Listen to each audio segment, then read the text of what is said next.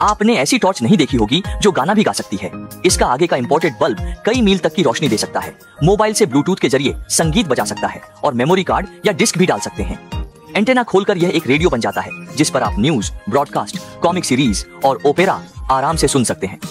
इसके टॉप पर एक सोलर पैनल है, जिससे आपको बाहर निकलते वक्त बैटरी की चिंता नहीं करनी पड़ती।